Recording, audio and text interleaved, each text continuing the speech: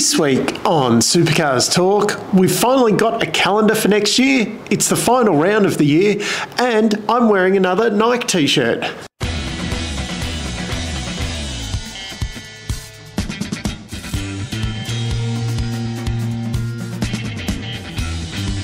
The big news this week is that HRT, or Walkinshaw Andretti United, and Triple Eight will be running special Holden tribute liveries this weekend. Um, because I'm filming this on a Sunday, they'll probably release them uh, late on Monday, so uh, that'll stuff up my Tuesday release. Uh, but we're used to that now. Uh, I, am actually I'm kind of excited about the Walkinshaw one because they have a really great back catalogue of you know special Holden racing team liveries uh, there. I'm, I'm hoping kind of, um, they have done it before, but hoping that they'll go back to that kind of black and white uh, original livery that the uh, team ran back in the day. Not sure what uh, Triple Eight will go with, whether, you know, they go back to kind of a Holden dealer team thing like they have in the past, or whether maybe they just try and go back to one of their previous um, Red Bull liveries, something like that. Um, but yeah, it's just a little bit of excitement for the final round there. Uh, some liveries to actually get excited about instead of, you know, what's Macaulay Jones wearing this weekend uh, which is actually a TRG Transport one. Um, we've seen that previously at the Bend. Uh,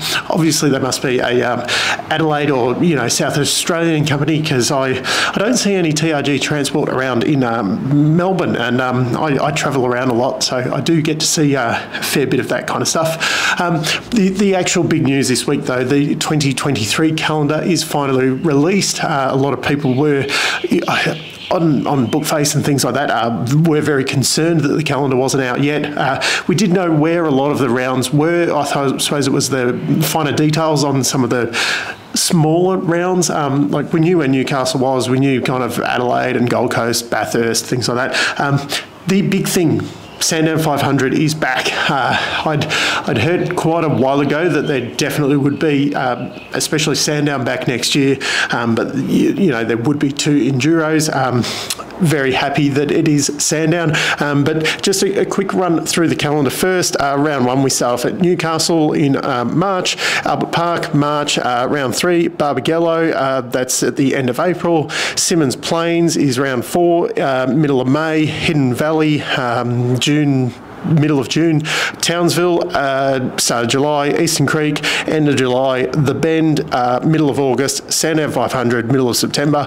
Bathurst, uh, start of October. Gold Coast, end of October. And uh, finishing off Adelaide in the end of October. Uh, so I just wanted to point out not the actual dates, but kind of when they were, because in general, we seem to have a three week gap between the rounds.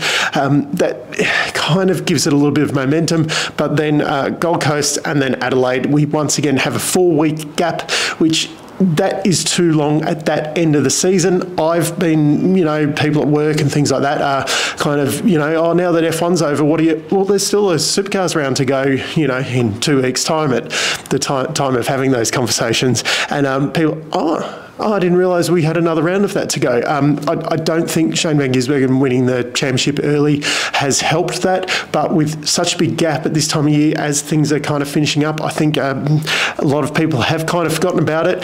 This is where um, big notables missing from the calendar. Of course, there's there's no New Zealand round. Um, yeah, that that's a bit sad. I can kind of understand. Hopefully, it'll be back for 2024.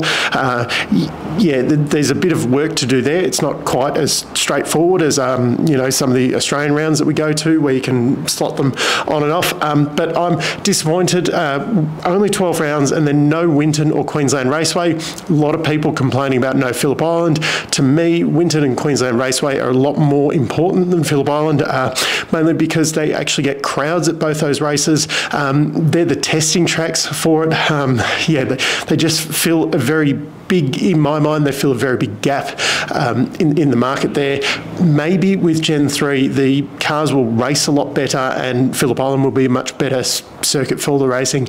Um, but generally, I'd, Phillip Island, brilliant circuit, but the racing not brilliant there. So um, I, I would I would have thought, you know, slot in, say, a Winton in between Gold Coast and Adelaide, keep that momentum going with the news cycle because uh, it's it's really died off. Even like you notice it on you know Speed Cafe, Motorsport.com, and things like that. The news stories have really um, dropped off. Obviously, you know we'll, we'll get a bit of a boost at the start of this week with people doing their previews and things like that, and the special liveries coming out for the final Holden round and that. Um, but I just, I'd, I'd, prefer to see a bit more momentum, and of course, um, I, I, personally think around that 14, 15 rounds is probably enough. Um, I think F1 is getting a little bit too saturated. I think they should be more 20, 21, maybe 22 at the max. This 23, 24, it's, it's getting like every second weekend for the whole year. Um, IndyCar, they do things very well. I think they could probably put in one or two more rounds, but they're at 17.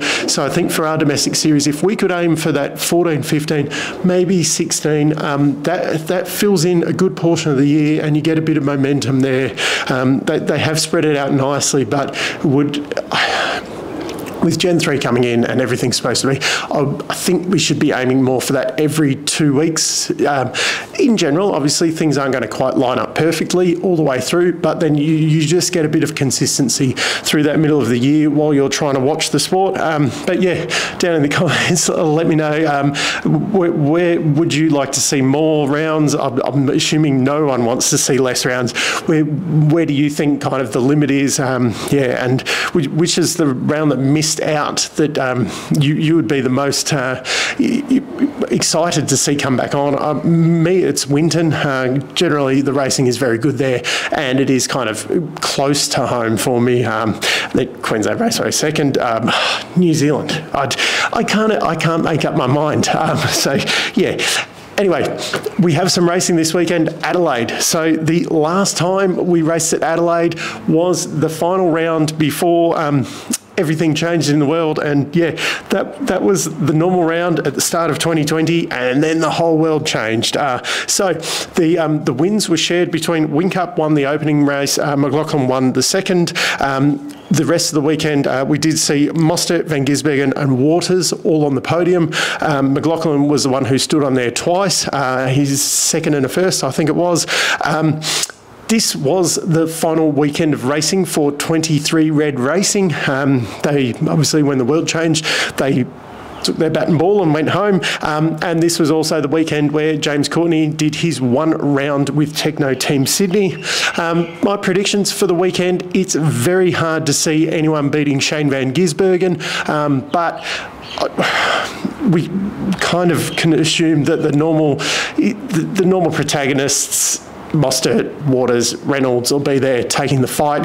Um, I think Mostert will have a little bit of motivation there. The final round for Holden ever um, in supercars, obviously. Um, they'll, they'll, be racing in Super 2 and that next year. Uh, but I think Mostert, just to, you know, kind of take that final Holden win back to the traditional home of, um, yeah, HRT back in Clayton, I think that there'll be a little bit of extra motivation there for him. And if anyone is going to take that fight or take a win away from Shane. Um, I, am going to tip Mostert, but yeah, down in the comments, let me know what you think. Um, bit of a health update, just generally getting better day by day. Um, I was told medication would take at least two weeks to kick in. it, it is going a little bit up and down, um, but I've even week and a half in now, I am definitely seeing an improvement with the medication. So um, that's all good. Thanks once again for all the well wishes. Um, enjoy the final round on the weekend, and until next time, I'm still Dave, and I'll catch you later.